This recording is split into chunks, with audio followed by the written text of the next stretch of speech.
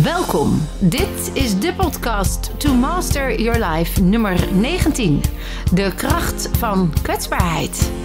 Tips op het gebied van body, mind en food. Mijn naam is Vilna van Betten en ik heb er super veel zin in. Welkom lieve dames en mensen, weer een nieuwe podcast en dit keer over kwetsbaarheid, maar dan als kracht. En wellicht verstop je wel eens je kwetsbare zaken naar de buitenwereld of geef je anderen de schuld voor hoe jij je voelt, omdat je ervoor schaamt en het niet perfect of goed genoeg vindt lijken. Je denkt bijvoorbeeld: waarom zou ik vertellen dat ik dat niet kan? Daar heeft niemand wat aan. Of ik zeg maar niet dat ik me eenzaam voel, want daar zit toch niemand op te wachten. Of als ik zeg dat ik alleen wil zijn, dan vinden ze me vast een aansteller. Kortom, je kwetsbaarheid verstoppen. En dat kan leiden tot een afgescheiden en angstig gevoel. En dan blijf je in de loop van dat laat ik dus weer niet zien enzovoort. En dat maakt uiteindelijk hartstikke ongelukkig. En vandaag gaan we eens kijken, wat is nou kwetsbaarheid? Maar wat zijn dan ook de redenen waarom we ons niet kwetsbaar durven op te stellen? En vooral, wat kun je wel doen om je kwetsbaarheid te laten zien? En ik moet ook even denken aan als, uh, als ik op een verjaardag ben of in een groep, een soort receptieachtige setting om soms het ijs te breken, dan stel ik wel eens de vraag: Kom, vertellen we allemaal ons even ons meest awkward moment uh, dat we hebben meegemaakt de afgelopen periode. En dat is natuurlijk vaak iets heel kwetsbaars, waarin jij het gevoel had dat wat jij deed afgewezen zou worden door de groep als je dat zou vertellen. Of dat je dan als dom wordt aangezien of als stom. En dan komen altijd de meest leuke verhalen waar we dan natuurlijk ontzettend om moeten lachen omdat het in retro-perspectief uiteindelijk helemaal niet zo erg bleek te zijn, maar in ons hoofd wel. En er zijn hele interessante onderzoeken gedaan over kwetsbaarheid. Brené Brown is iemand die zich daar heel erg in heeft verdiept. Wilde het helemaal uitpluizen. En is uiteindelijk zes jaar lang erover bezig geweest. Dus daar zal ik jullie vandaag ook in meenemen. Wat heeft zij ontdekt over kwetsbaarheid? Uh, en vooral hoe kun je dat ook anders zien en er anders mee omgaan als kracht. Ja, en neurochemisch, neurobiologisch, energetisch gebeuren ook hele interessante processen in je brein. En dan toch even naar dat allereerste gevoel van de angst voor afwijzing.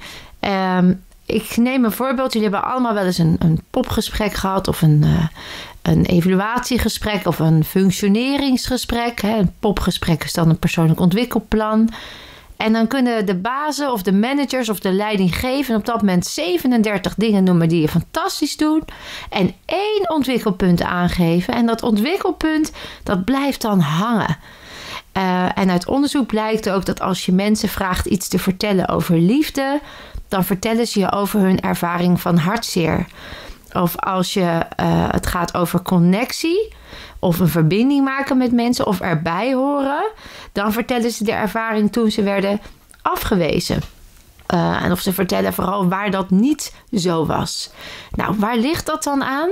Dat is een hardwiring in ons brein en dat noemen we de negativity bias.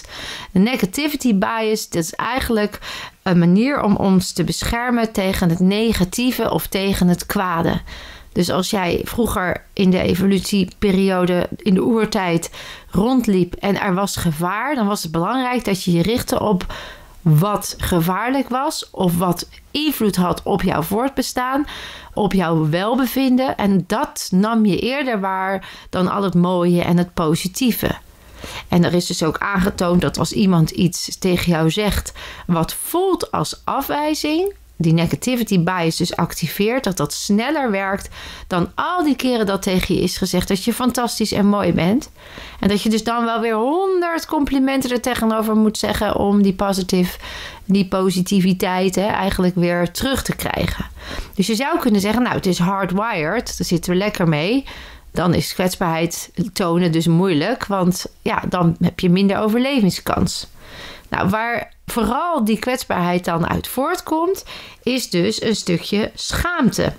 En die schaamte, de betekenis van schaamte is eigenlijk de angst om afgewezen te worden. Dus als iets, als ze dit over mij weten en als anderen dat zouden zien, zou ik het dan nog waard zijn om erbij te horen?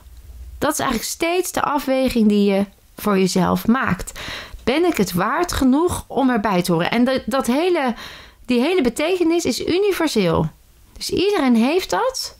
Behalve de mensen die geen vermogen hebben tot empathie. Dus, dus die neurologisch niet ja, gezond zijn, zou je kunnen zeggen. Die die prefrontale cortex niet hebben ontwikkeld.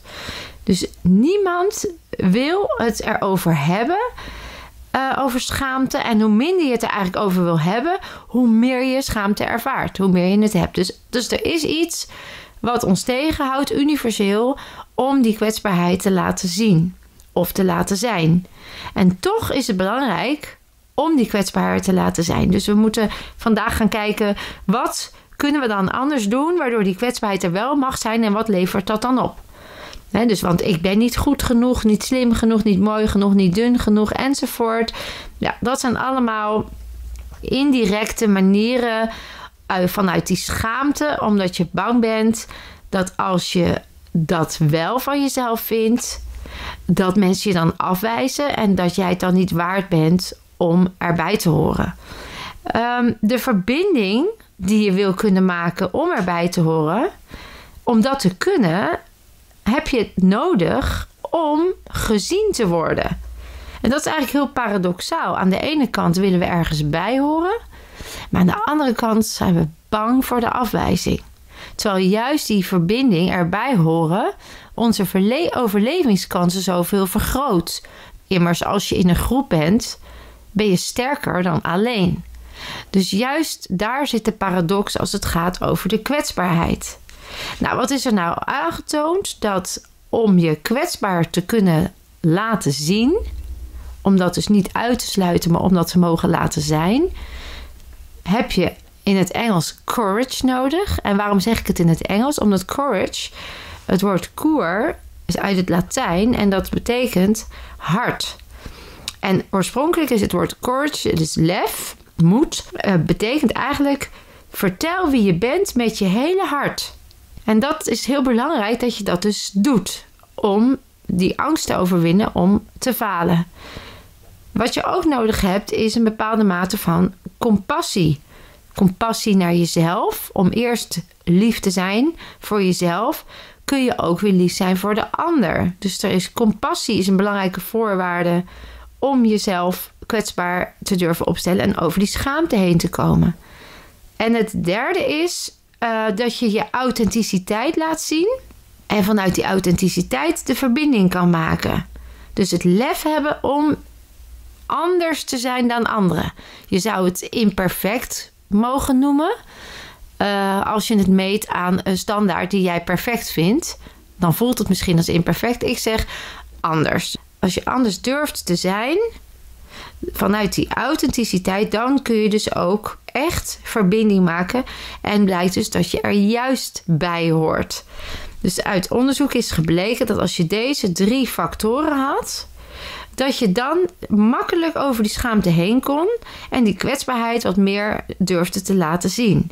En er was ook duidelijk dat die mensen die dat deden, hadden het idee losgelaten dat ze moesten leven volgens het idee wie ze moesten zijn, maar leefden volgens het idee waarvan ze vonden dat zij voldeden. Deze mensen hadden dan ook het vermogen om dat stukje kwetsbaarheid juist te omarmen en te gebruiken in hun voordeel, omdat zij geloofden dat wat hun kwetsbaar maakte, ze juist uniek en mooi maakte. Deze mensen waren dus ook bereid om bijvoorbeeld een koninklijke knieval te maken, zo noem ik dat wel eens. Uh, mensen wijzen je af of ze vinden iets van jou, vaak uit onvermogen. En dan kunnen zij gewoon zeggen: Ja, ik hou van jou. dus ze konden liefde geven onvoorwaardelijk. Uh, waren ook mensen die dan juist doen, ook al heb je geen garanties, dus uh, kozen voor een andere baan. Zonder dat ze wisten of dat wel de beste stap was. Of ze kochten toch dat huis. Terwijl ze niet zeker wisten of ze de komende jaren nog wel hetzelfde inkomen zouden hebben.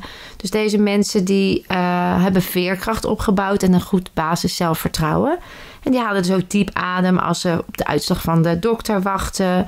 Of ze investeren in een relatie, ook al weten ze niet zeker of het geweldig gaat blijven. Ze zijn eigenlijk vol vertrouwen versus de mensen die juist schaamte uh, voor gewired hadden. Dus even terug naar die hardwire, die negativity bias. Dat is dus kennelijk iets wat we allemaal hebben. En tegelijkertijd hoeft het ons niet te beheersen en kun je dus vaardigheden ontwikkelen om die negativity bias eigenlijk met een omweg voorbij te gaan. En veerkracht, zelfvertrouwen, weerbaarheid daarvoor te leggen, waardoor je daarop kunt terugvallen, op dat basisfundament, jezelf waardevol genoeg vindt en de kwetsbaarheid dus ook gaat gebruiken als kracht. Maar goed, interessant, want kennelijk is dat voor heel veel mensen nog steeds een uitdaging om je kwetsbaar op te stellen. En dat heeft echt te maken met wat ons aangeleerd wordt. En zeker hier in het Westen willen we allemaal controle hebben. We willen kunnen voorspellen hoe het loopt. Uh, ik merk dat bijvoorbeeld zelf in mijn uh, gesprekken, mijn één op één gesprekken die ik met mensen heb, dan komen ze bij me en dan uh, zeggen ze ja, ik zit op dit moment even in een burn-out of ik voel me niet happy. Dat is de manier om het te benaderen en dan noem ik dan spirituele groei. Je maakt dat mee om spiritueel te groeien. Maar dat is natuurlijk hartstikke kwetsbaar voor iemand om dat al toe te geven. En dan komt er vaak ook achteraan. Dus ehm, zeg maar even wat ik anders moet doen. En ik hoef het ook niet over mijn verleden te hebben. En ik wil ook niet hebben over alle dingen die ik heb meegemaakt. Maar ik wil gewoon lekker nu weten wat ik nu anders doe. En dan is het weer klaar. Nou, dat is een duidelijk voorbeeld van dat die kwetsbaarheid er gewoon niet mag zijn, omdat ze het zien als zwakte of als falen of als afgaan. Terwijl als ze juist naar dat zouden kunnen gaan, ze zichzelf zoveel meer gunnen en zoveel waardevoller gaan voelen. En niet dat ik zeg dat je altijd naar het verleden moet, maar het feit dat ze zichzelf al beschermen, geeft dus aan dat die kwetsbaarheid nogal groot is om te laten zien. En dan is het dus echt die schaamte, het waardevol kunnen voelen, wat dan in de weg zit. Wat eigenlijk dan het belemmert dat je het niet, uh, niet doet. Terwijl kwetsbaarheid kennelijk dus de kern is van schaamte en angst. En het niet waardevol kunnen voelen, is het ook de geboorteplaats van geluk, liefde, connectie, erbij horen, creativiteit. En als ik dus in mijn gesprekken duw op die kwetsbaarheid, dan zijn ze in eerste instantie geneigd om dat terug te duwen. Dus de volgende interessante vraag is van waarom worstelen we daar zo mee, los van die negativity bias? Ik denk dat het komt dat we een soort murf geslagen zijn, afgeleerd zijn om kwetsbaarheid te laten zien. Dus het gevoel om kwetsbaar te zijn wordt gewoon niet erkend in onze maatschappij. Als het uit onderzoek blijkt ook dat als mensen zeggen, als je vraagt wanneer vind je kwetsbaarheid ongemakkelijk, wanneer voel jij je het meest kwetsbaar, dan krijgen we antwoorden als als ik mijn man hulp moet vragen als ik ziek ben. Mijn man zou zeggen als ik seks moet initiëren bij mijn vrouw. Uh, maar ook afgewezen worden als iemand je uitvraagt. Uh, wachten op het telefoontje van de dokter. Dus we leven kennelijk in een hele kwetsbare wereld. En we willen de hele tijd controle. En ondertussen zijn we ook de wereld waar op dit moment heel veel mensen in schulden zitten, waar er overgewicht is, waar er mensen aan de medicatie zijn. Dus waar we eigenlijk slecht voor onszelf zorgen. En dat komt omdat we dus emoties ontkennen. En we hebben het nu over kwetsbaarheid, maar ik denk dat het over het algemeen geldt dat we eigenlijk onze emoties wegstoppen. Ik voel me zo en dus neem ik lekker een zak chips. In plaats van wat voel ik, ik herken het, erken en ik handel ernaar. Nou, als je dat dus doet, dan, dan sluit je dus een stukje geluk of plezier of dankbaarheid uit. Ben je jezelf weer kwijt, voel je je weer kwetsbaar neem je dus maar weer een zak chips en dan blijf je in die cyclus waar je jezelf eigenlijk ontkent en daarmee ook uh, je ongelukkig voelt. Dus het is heel belangrijk dat we die schijnveiligheid die is ons aangeleerd, die controle die we denken te willen hebben, en die zie je ook terug hier in, om ons heen. Mensen die in de politiek, hè, er is geen conversatie meer, maar we geven de schuld aan de ander. Wat eigenlijk letterlijk gewoon een manier is om pijn en comfort te vermijden. We perfectioneren echt alles. Eh, we halen vet weg bij onze billen. We stoppen het weer in onze wangen. We, we doen botox in ons gezicht stoppen om maar niet die kwetsbaarheid te mogen laten zijn. Omdat we denken dat we dan er niet meer bij horen en niet voldoen aan het beeld waarvan we ook zouden vinden dat we zelf mogen voldoen. En met name is dat natuurlijk ook belangrijk in het rolmodelschap wat we doorgeven aan onze mensen om ons heen. Je kinderen, je familie, je vrienden. Je gaat ook niet tegen een babytje zeggen: je bent imperfect. Kom maar op, eh, de wereld is niet leuk. Je gaat die zegt tegen een kind, je bent gewoon goed zoals je bent. En ja, er gaan dingen gebeuren en er komen dingen op je pad. Dus zorg dat je voorbereid bent. Zorg dat je zelfvertrouwen hebt. Zorg dat je veerkracht hebt. Zorg dat je jezelf sterk blijft houden. Want al die momenten waarin jij jezelf tegenkomt en daar weer uitkomt, heb je het gevoel dat je groeit. Ervaar je geluk, ervaar je plezier. En dat is denk ik heel belangrijk om mee te nemen uit deze podcast. Dat je jezelf gunt om te vallen, omdat je zonder vallen niet kunt opstaan. En een hele mooie quote uit de aannames van neurolinguistisch programmeren is ook: er is geen falen, slechts groei. Oftewel, alles wat jij meemaakt, waarvan jij daarin schaamte ervaart, waar, waarbij jij schaamte ervaart, of waardoor jij denkt dat je niet voldoet aan een beeld, dat leert jou iets waar je met dankbaarheid naar kan kijken en kan zeggen: Wauw, ik merk nu dat ik mezelf misken. Of hé, hey, ik voel nu deze emotie en die mag er zijn. Hoe ga ik dat anders aanpakken? Dus in plaats van een beetje de heersende, ja, de heersende cultuur op dit moment, waarin je ziet dat mensen zeggen: Oké, het gaat slecht met Nederland, zo is het. Zou kunnen zeggen: Oké, laten we zeggen, we erkennen dat het beter kan. Niet vanuit het nastreven van de perfectie, maar vanuit het op onszelf vertrouwen, vanuit die kracht. Kijken of we het beste eruit kunnen halen. En dat is echt iets anders dan vanuit wilskracht ergens voor gaan of uit angst of kramp om niet te falen. Dus heel erg de situatie gebruiken om te kijken wat goed voelt en wat in dat stuk geoptimaliseerd kan, kan worden. Niet vanuit het ideaalbeeld, maar vanuit wat klopt en wat past bij mij. En dat is eigenlijk een heel mooi voorbeeld wat ik zelf heb gehad bij uh, Maurice toen hij in het ziekenhuis lag. Maurice was iemand die ook vanuit zijn opvoeding had meegekregen dat hij uh, niet, ja, jongetjes huilen niet. Hij was ook emotioneel niet gevoed. Dus hij werd niet opgevoed in hoe ga je met emoties om? Zijn vader was alcoholist. Zijn moeder heeft altijd alle bordjes hoog gehouden. Dus hij, je zou kunnen zeggen dat voor hem emoties tonen een vorm van zwakte was. En hij wilde ook controle hebben om zijn leven in ieder geval het gevoel te geven dat het wat waard was. En zichzelf ook het gevoel te geven dat hij wat waard was. En dat zie je ook vaak. Hè? Mensen die die leegte ervaren, die grijpen naar iets wat of een vlucht, hè, alcohol, drugs. Of ze gaan iets perfectioneren zo erg dat ze in een kramp schieten en eigenlijk zichzelf verliezen. En dan heel veel geld op de bank hebben. En dan zeggen, nou, is dat het nou? Hè? Want ze komen zichzelf natuurlijk nog een keer tegen. En het mooie was dat Maurice al heel erg daaraan gewerkt heeft. En als het dan ging over iets waar hij zelf mee worstelde dan sloot hij zichzelf altijd helemaal af. Dan ging hij of in zijn eentje uh, zitten. En dan hield hij zich even drie dagen in de grot. En dan kwam hij naar buiten. En dan zei hij zo, ik heb het opgelost en ik kan weer door. Maar dat had ook een enorm effect op de wereld om hem heen. Dus voor hem werkte dat misschien. Maar voor de wereld om hem heen was het heel onstuimig. Van ja, uh, waar, nou is hij er wel, nou is hij er weer niet. Uh, een soort silent treatment kun je zeggen. Hij was dan ook niet aanspreekbaar, mokkig, want hij zat ergens mee. En dat durven toegeven of hulp vragen, ja, dat was gewoon not done. En dat was echt een strategie geworden voor hem, een overlevingsstrategie. En dat was ook heel vaak gelukt, maar soms ook niet. En dan dat toegeven was nog een stap verder. Dus dan ontkenden we het. Of hij ontkende het. En toen kwam hij natuurlijk in het ziekenhuis te liggen. En hij had dysfunctional brain damage. Hè? Dus hij had uh, axonale schade. Dus er waren heel veel plekken in zijn hersenen die bloedingjes hadden. Door de klap op zijn hoofd met de motor. En toen hadden ze gezegd, ja, hij heeft dusdanig veel schade dat we niet zeker weten of hij überhaupt nog wakker wordt. En als hij wakker wordt, hoe hij er dan bij zit. En ze gingen zich zorgen maken, want hij bleef maar slapen. En toen wist ik, ja, maar deze man, die, is, die ik ken hem inmiddels al ruim 20 jaar.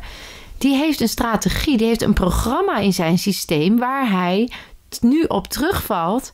En dat is, ik laat mijn kwetsbaarheid niet zien. Misschien schaamde hij zich wel dat hij uh, een ongeluk had gehad. Misschien durfde hij zijn kwetsbaarheid niet te laten zien. Dus wakker worden zou maar zomaar geen optie geweest kunnen zijn. En toen ik dat me realiseerde, heb ik via hypnotische inductie, dat is eigenlijk op zijn onbewuste suggesties geven en inpraten, waardoor hij dat programmaatje aanraakt en herprogrammeert, heb ik hem eigenlijk in een half uur wakker gekregen. En de arts die stond erbij en die zei: nou, dit is bizar. Die hadden dat nog nooit gezien. Omdat zij mechanisch naar het lichaam kijken, maar ik kijk natuurlijk naar het hele systeem. En er zat energetisch en neurochemisch lag daar een patroon wat niet handig was en zat daar een emotionele blokkade. En in zijn bewustzijn in het hier en nu denk ik niet dat hij ooit daar had kunnen komen, omdat hij zichzelf daarvoor beschermde. Maar doordat hij daar nu zo kwetsbaar lag, kon ik dat stuk aanraken en werd hij wakker. En ik weet ook dat dat zijn leven weer terug heeft gegeven. En sindsdien is dat ook vrij. En merk ik ook dat hij ja, eigenlijk veel meer geluk ervaart en dankbaarheid kan geven en lief kan zijn voor zichzelf omdat dat overlevingsmechanisme hem ook ja, verharden. En soms ook naar de buitenwereld toe verharden. Immers, als je jezelf niet lief hebt in dat stuk, ja, dan is het ook heel erg een uitdaging om dat naar anderen te uiten. Dus eigenlijk kunnen we constateren dat kwetsbaarheid een kracht is, omdat het de poort opent naar lief zijn voor jezelf, jezelf waardevol genoeg vinden, je dankbaarheid vergroten en daarmee het plezier geeft in de momenten waar je eigenlijk niet precies weet hoe het afloopt.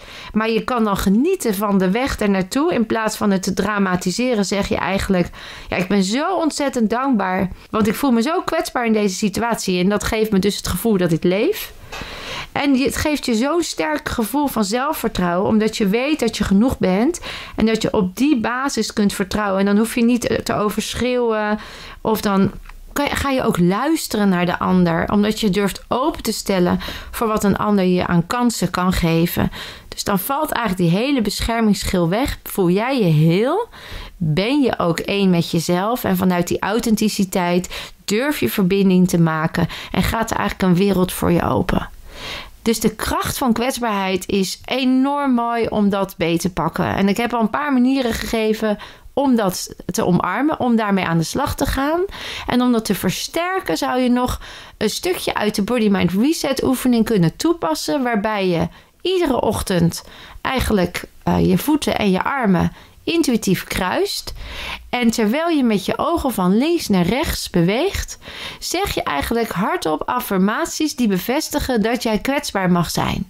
Zoals ik mag kwetsbaar zijn, ik ben dankbaar voor, en dan noem je de zaken waar je dankbaar voor bent. Ik stel me open voor wat op mijn pad komt. Als ik val, sta ik sterker op. Ik ben dankbaar dat ik leef.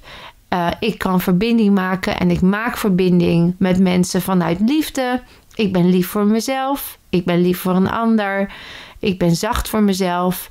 Ik ben zacht voor de ander. En dan zul je merken dat je geluksgevoel en je hele welbevinden gewoon een enorme boost krijgt. Nou, als je nou het gevoel hebt dat er nog een enorme freeze achter zit, of een belemmering of een blokkade, kom dan gerust een keer langs voor zo'n one session, BMR one session coaching, waarin ik je gewoon kan bevrijden van die blokkade. Waardoor je ook echt merkt dat je die schil af kunt gooien en de kracht van kwetsbaarheid lekker mee kan nemen. Ja, wil je nog veel meer weten over hoe het brein werkt en hoe jouw energetische banen lopen en hoe emoties zich dan vastzetten? Dan uh, adviseer ik je om een keer naar een eh, PMR Live Masterdag te komen. En wie weet vind je het leuk om eens een keer een meerdaagse te doen, zoals de Reset Retreat. Of een week waarin je zeker weet dat je de dingen die je aan wil pakken vanuit heerlijkheid en kwetsbaarheid juist gebruikt om nog krachtiger naar buiten te komen. Ik wil jullie weer bedanken voor een waanzinnige fijne podcast. Ik hoop jullie uh, weer geïnspireerd te hebben en dat jullie kwetsbaarheid vanaf vandaag uh, er mag zijn. Net als mijn kwetsbaarheid. Ook een lekkere beetje zelfspot helpt er ook bij. Zet het in en je weet het, je kunt meer dan je denkt.